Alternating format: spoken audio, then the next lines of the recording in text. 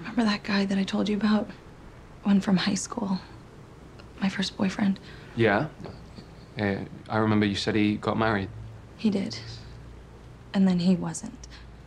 And, um, I saw him at this bar, and his wife left him a couple months ago, so we were hanging out, and I sort of let him go back in time a little bit.